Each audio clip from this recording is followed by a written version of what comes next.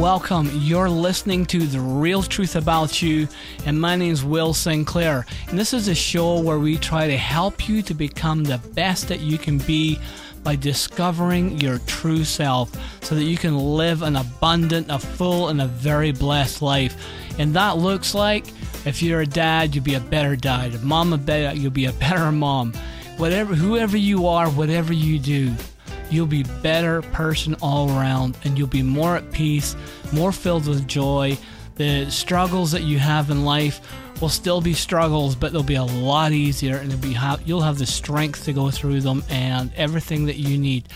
Today, I am actually excited because I have a guest speaker for you.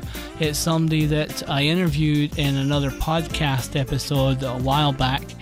And her name's Tami Dovell. And Tami leads a meditation group. She's like uh, a spiritual guide, I guess you would call her.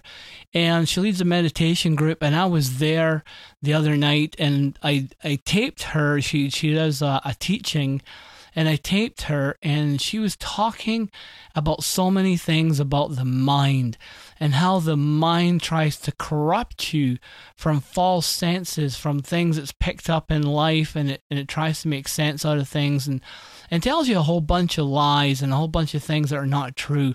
So if you have issues where your brain is constantly telling you things like, judging people or like, gee, if they weren't like that, then I wouldn't respond like this. Or if they just loved me more, then life would be better. Or, you know, I just wish I wasn't this kind of person. Or I'm just useless at this. Or, gee, I wish, I wish, I wish, and all this kind of stuff. Or if I can just have more. If your brain keeps telling you and telling you and telling you things, then you really need to listen to this podcast because Tami drops gems uh, for you to pick up. And so I'm going to turn this show over to her. This is a recording. It was done uh, in front of a group of people who came to meditate. And she talks a lot about meditation and about breathing and about coming back into the moment. And you'll get so much from this. There's going to be something for everybody in this, I'm pretty sure, because she goes through quite a few different things. So I urge you over the next half hour just to listen to this entire podcast, to listen to what Tami has to say, and I will meet you at the end. Okay, so here we go. Tami Dovell.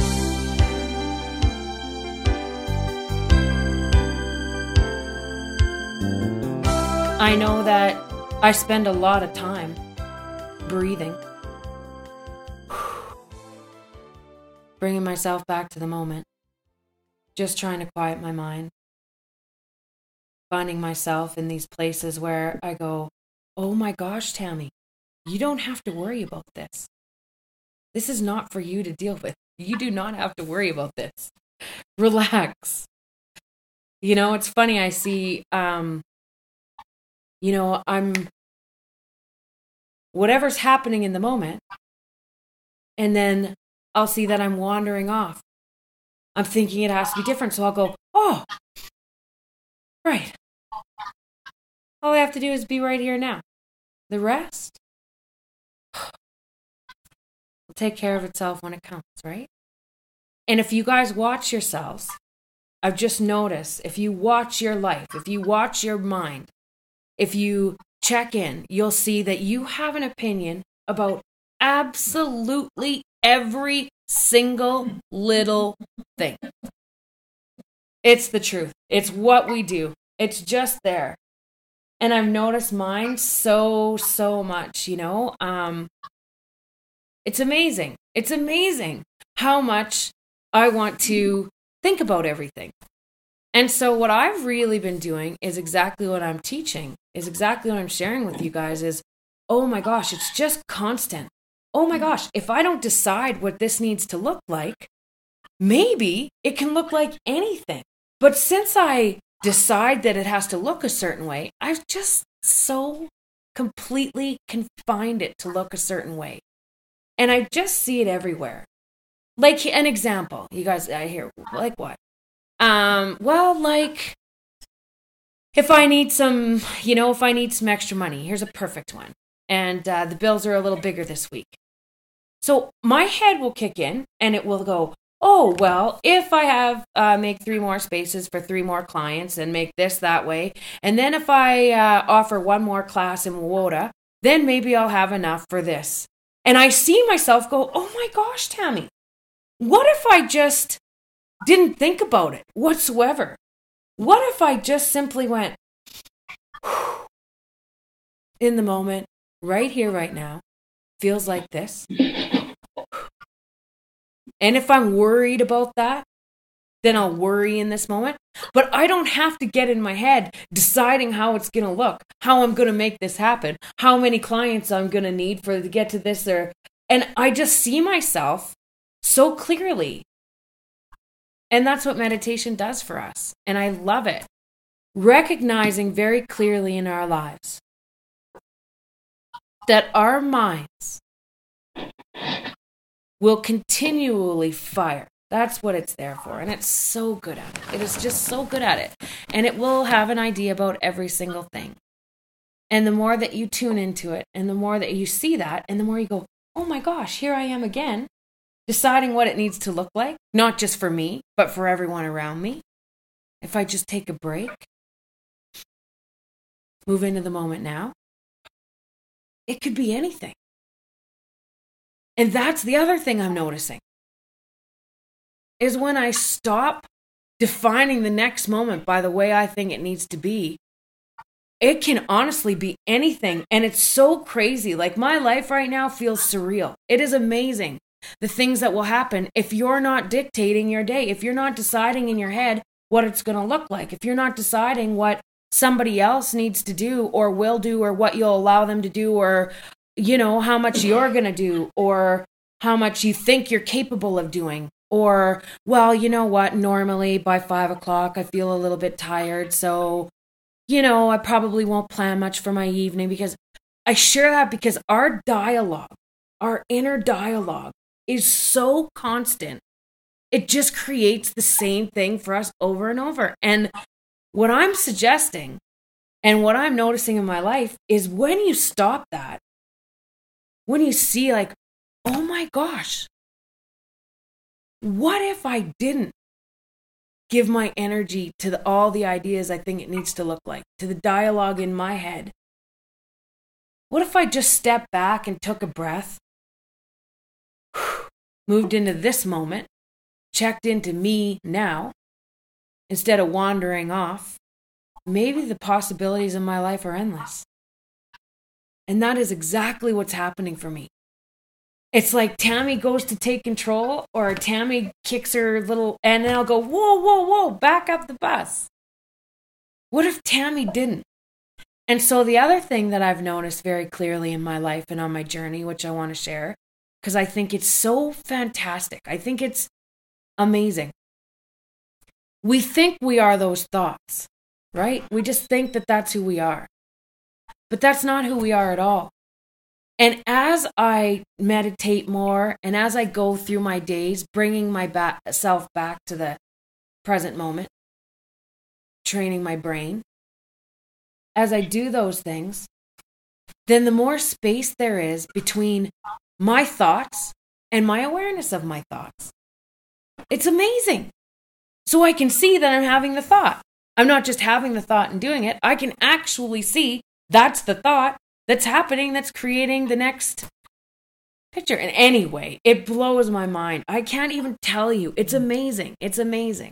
It's extraordinary. It's been so amazing. I, I'm having so much fun watching my my very busy mind. And it just gets you hook, line, and sinker, you know? But then I see it and I go, oh my gosh, what could life look like if I wasn't constantly needing to think I have to plan the next moment or how it should be or what it should look like, not just for me, but for everybody else around me. And just sort of left it up in the air. Just in this moment, this is happening and it feels like this and just rolling into the next. And that right there is a wow way to live. That right there is what they call living an enlightened experience. And how do we do that? We have to train our brains. I know that one day I'm going to wake up and my thoughts aren't going to be controlling my reality. I know that.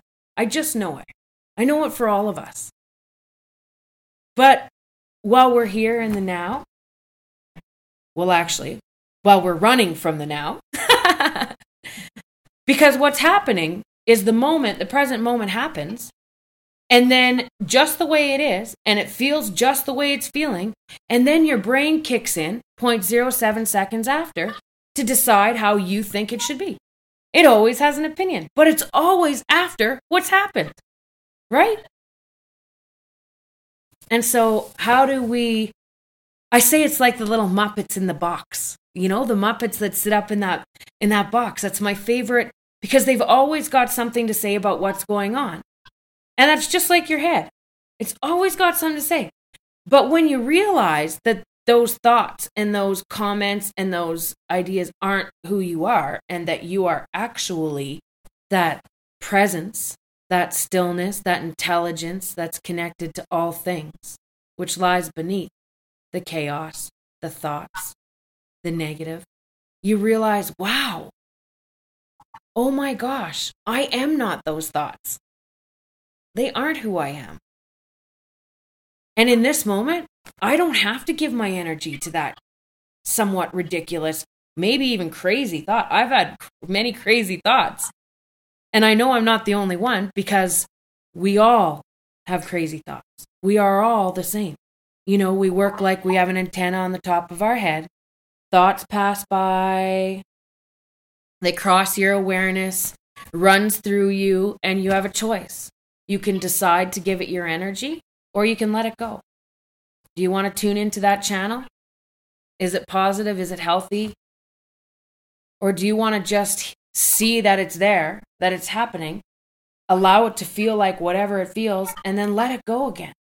But no, when we decide that we're somehow responsible for it, or it's our thought, or um, we believe it, hook, line, and sinker, whatever it is, then it sticks within us and it continues to create a pattern in our brain.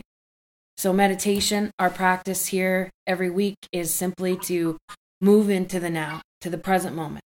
That's it. To that part of us which is one with all things, with the divine consciousness, with your soul, with your heart, God, the God which lives in you. Anyway, so my week has been fascinating because I just see oh my gosh, so many places, so many times that my I am deciding. I'm thinking that I know what's best and then I go, "Oh my gosh, I don't." And I not today, not this time, not in this moment. And the more I do that, just the better it feels to be alive, genuinely. And so even, you know what, when I get up in the morning and when you guys are planning your days, I've stopped doing that. Like I used to be like, oh yeah, okay, well I'll have this client, I'll have that, and I'll take a lunch break here. I don't do that anymore. It's kind of like, okay, what's my day? Thank you for my wonderful day. That's the first thing I do. Take a very deep breath into my heart, and I just say thank you for whatever today is going to look like. And it's an open slate. I don't wake up in the thought anymore that, oh my gosh, I should have got up a half hour earlier. Oh, I better run. Oh, I got to be there by then. I, I don't allow myself to panic like that anymore when I wake up. And that's a training in itself. How do you wake up? Or do you know? You know, are you in the panic or you know, do you just take that minute every single morning when you open your eyes and check in to your heart, be grateful for your day, recognizing that it's going to happen. It's just happening. And you get to experience it. And no matter what it looks like, if you aren't judging, if you aren't in your mind deciding it should be different, it will be just what it is, perfect in every moment for your life, for what you need. But our head will take over and it will tell us that it should be different, that they should be different. Even as we're sitting here now, you know, it already feels quieter. It's already starting to quiet. The reflex is already starting to kick in. You're sort of starting to feel drowsy, starting to feel really relaxed. Like, Tami, are you almost done talking? I need to mm-hmm. close my eyes. Which, of course, close your eyes. But, you know, it already happens. It's already happening. So if we can move into our next week, sort of with the intention of allowing our next moment to move from this very present one. And the only thing that's real in this very present moment is I'm here and it feels like this. That's it. Let the dialogue go. Let the story go. Let the drama go. Let the hurt go.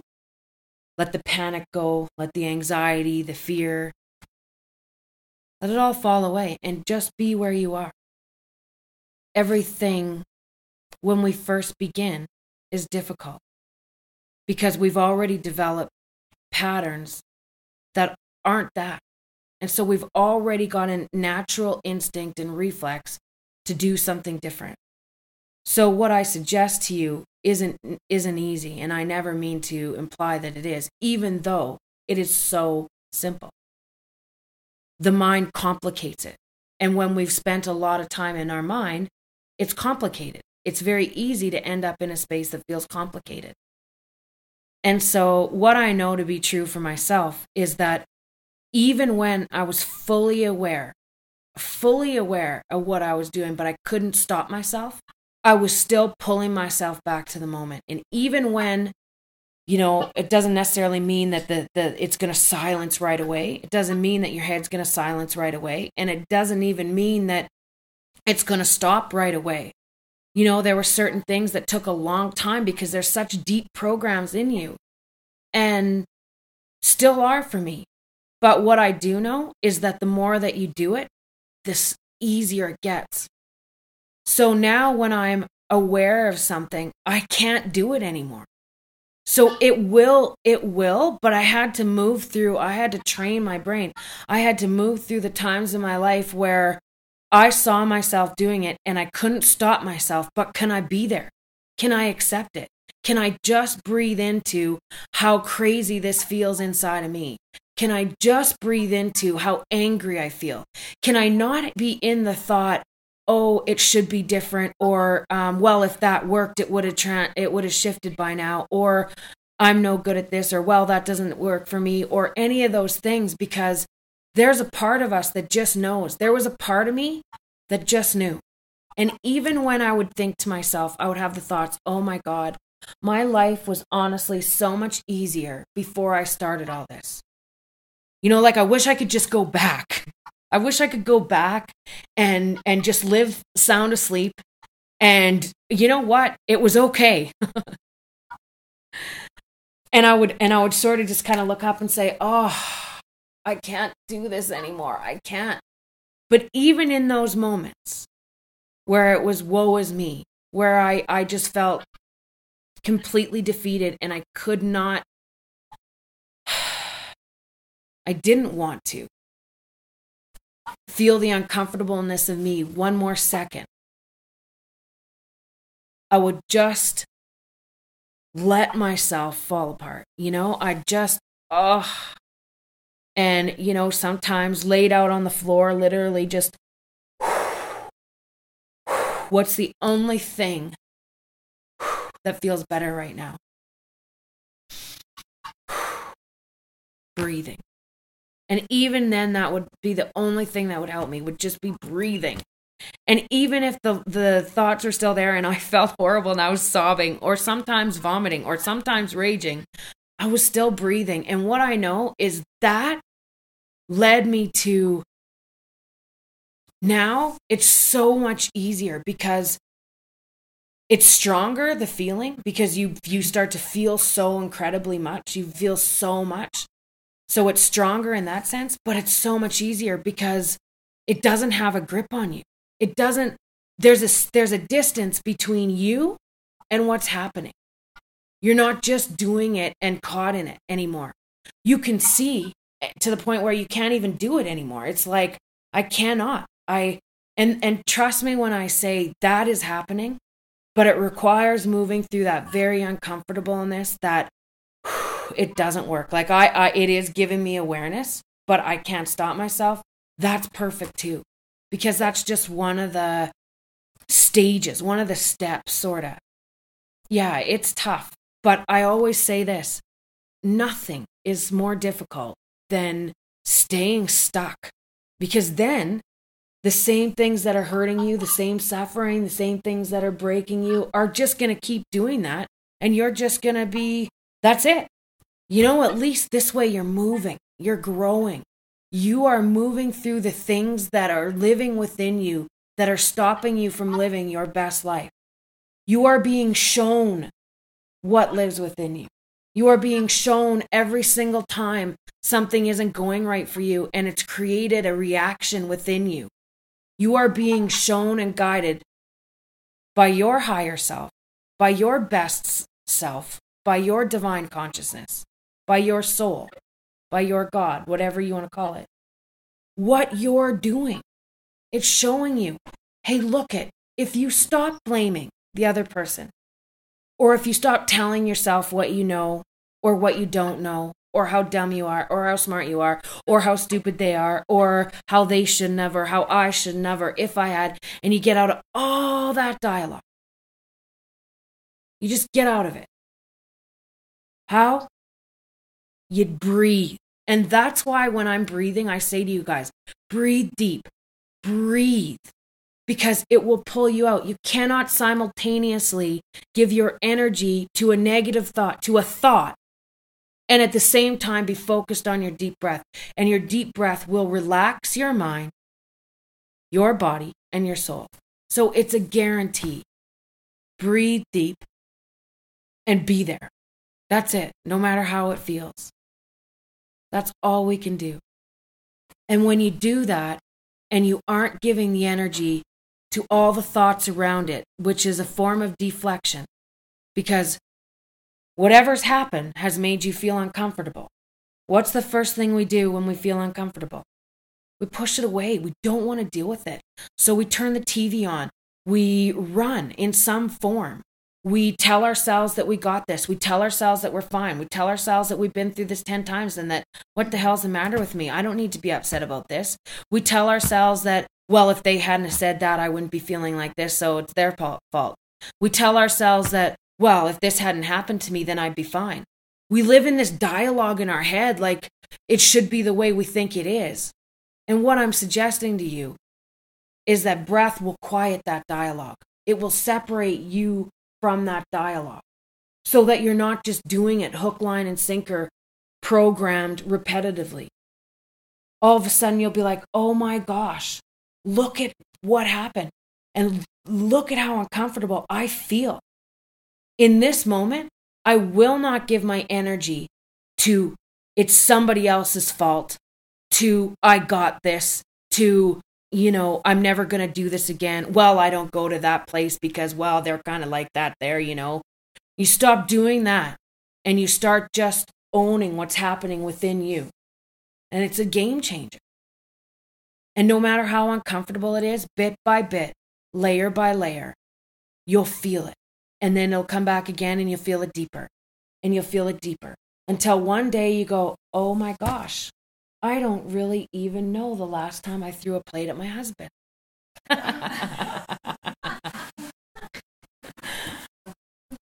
True story. My journey has been a very emotional one, like I've explained. I, um, you know, I, I, I probably a loaf of bread sounds fantastic, but uh, I, I I got off on the drama of the plate smash. you know, it really my life was very. I had such strong reactions. Like in this moment, I cannot stand you. And then I'd say, and if you loved me, you would not speak to me like that. And if you, and if you, and I was very, very, very good at making the other person feel guilty at making the other person feel bad for who they are. Like, oh, geez, you know what? You're probably right. If I did love you, I should have done something different. And I played those games for a long time, but they don't work. They don't work. Ultimately, nobody out there could have loved me enough because I simply didn't love me. So no matter what they did, it would never be enough. And I remember my first relationship, him saying, like, I cannot do anything right. And he was right. He absolutely couldn't because I was broken on the inside. And as long as I blamed him, as long as I blame my parents, as long as I blame my friends because they should have been there and they weren't, or blah, blah, blah, you know the story in your head. As long as you live from that space, The woe is me. Well, if this never happened to me, if I wasn't dealing with this, I'd be fine. Oh, I have to watch this because of this. We live in this dialogue that creates the reality. It's just the way it works until it doesn't. So it's a really powerful lesson tonight. Really, this is such a key ingredient in the journey, in the journey to love yourself. You have to quiet the dialogue and become responsible for who you are. And when that dialogue is so loud and so uncomfortable, and you feel like it's not working, breathing is not working, let yourself break. Let yourself completely fall apart. Do nothing else but feel how uncomfortable you are and fall apart. Breathe so deep you sound like a rhino. You know, really move into it, plug into it, because your whole life you've run from it. Your whole life you have decided it's too much and it's too scary and you don't like the way it feels, so you're not going to do it. You're not going to go there. It's so much easier to blame someone. It is so much easier to tell yourself, well, you know, no one's had to go through what I've gone through. And if they had, we all have the story in our head that nobody knows what it's like to be me. Nobody knows how hard it is to be me. Oh, I know this happened to that person and that's really sad, but nobody knows how hard it is to be me. We all have that in there. And the sooner that you nip it the sooner that you go, isn't that interesting? That that's what I tell myself all the time, that I actually believe that about myself. You'll start to create that separation that I talk about between you and your thoughts. You are not those thoughts. You have a choice. It doesn't come easy. I remember, you know, no matter what you're doing, you can there's always that other little gremlin in there. There's always that little thought. Well, not always, but a lot of the time. So, you know, um, when you go to do something, uh, you know, say I go to teach a workshop, there's that little voice there. Um, Tami, you should probably prepare for this. Tami, um, if you're going to have people come together, you should know what you're doing. Tami, you should, and it's constantly pecking at me, pecking at me, pecking at me. And then I'll feel like, oh my gosh, I probably should. I should sit down right now and I should whew, make this happen, you know, because, and um, I believe those thoughts. And then I sit down and it's like a disaster and I go, oh, okay, what do you, what do you want? And then I go, oh yeah, here I am again. My head screaming what, what I should do, what I think I need, what the way to do this properly is, what a good person would do. And then I go, okay, in this moment, it feels very uncomfortable. And I feel I am not going to believe the thoughts that if I don't sit down right now and do exactly what it says, everything in my life's going to fall apart. And what I've noticed in my own life is the truth of that is when I don't listen to it and I just trust in, in the moment, maybe I am going to sit down at one point and start things start flowing from me and it's going to be written down. Who knows? But it's not going to be because there's a screaming thought that's terrifying me that says a, a good a good workshop will has to be planned weeks in advance. What are you going to do? Have you even looked at this? You know? And that's in there to push me so that I can go, "Oh my god, look at what your head does, Tami. It's constantly trying to sabotage you. It's constantly trying to scare you. It will put you in a corner and you'll cancel the workshop if it has its way. It, it's screaming, um, you've only got so many registered, so you should just cancel it. If people wanted to be there, it'd be full by now. It, this is what it does. And what I know is the more that I go, that makes me feel really uncomfortable, and I'm here. You are not who I am. I trust in me. I trust in the moment. I trust in the connection I am to something so much greater. And I will no longer choose to give my energy to all those fearful thoughts because I don't believe they are who I am. I am the light. I am the love. I am the very intelligent consciousness which lies beneath. And I've spent my life listening to those scary thoughts and stopping myself from doing things, but not today. You know, you, you choose what you give your energy to. You choose who you are. Even though all this is happening, it's just happening in a moment, you can choose to be those negative thoughts. You can choose to say something nasty about someone else. You can choose to believe something derogatory about yourself. Or you can breathe into your soul and let it go. Just completely let it go. And the more you let those negative thoughts go, they die because you're not giving them your energy. They cannot live if you don't believe them.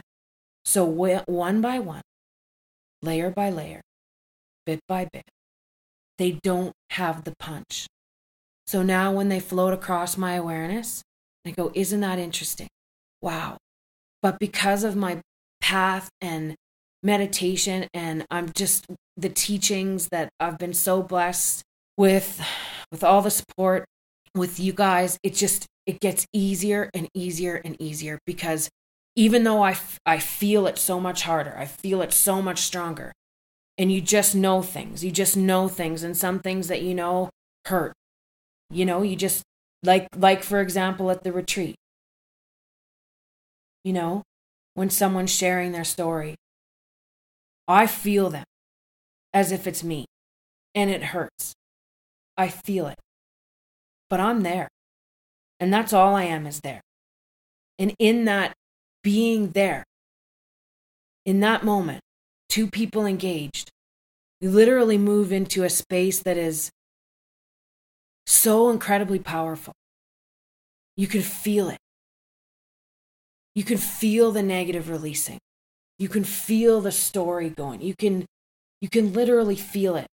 And while it's moving for one person, it's affecting 16 other people that are that are crying, that have tears pouring down their face. That's a shift energetically. That's an inner transformation. That's what happens when you're in the moment. And you can't even say, Tami, you're weird. Tami, whatever. You know, this is all a bit crazy because science has proven it. When you train your brain to get out of the negative parietal lobes, to develop to more intelligent parts of your brain, then you naturally function from more intelligent parts of your brain, which is the same language as the negative thoughts quiet, which is the same language as the judgment falls away. Because you realize everybody is just doing the very best they can in their own path, in their own life, just like I am. How can I judge them? Their life is happening for them perfectly, just the way it needs to, to show them who they are to grow. I can never change them, ever. So why do I spend my time so worried about them? So worried about trying to fix them? So worried about, well, if they only knew what they were doing or made different choices. I'll tell you why. Because it's easier to do that than it is to feel what's in you. So, meditation, doing the things you love in your life, where time just falls away. You have so much you and you know you just do it and you enjoy it. You're not thinking you're you're just doing what you're doing and loving it. And before you know it the whole day is gone. And you think wow what a great day. You know maybe that's yoga for you. Maybe that's kayak. Maybe that's home reno. Maybe it's walking. Maybe it's biking. Maybe it's a hammock in your book. I don't but doing more of the things in your life that bring this sense of here, of presence, of I'm present, and doing less to rattle your cage. Okay, you've been listening to Tami Dovell, and you can get more from Tami Dovell at tamidovell.com, and that's T A M I D O V E L L dot com T A M I D O V E L L dot com dot com. and you can also I'll put up a link to her website on our website therealtruthaboutyou.com Thank you so much for listening, and you can contact us at support at therealtruthaboutyou.com. Please uh, would you mind helping me and share this information, share this podcast with other people? I thank you so much for listening. Your time is valuable, and I sure appreciate your time. And we're all in a journey together. And so, anyway, I want you to have an awesome, awesome, awesome day because you absolutely rock.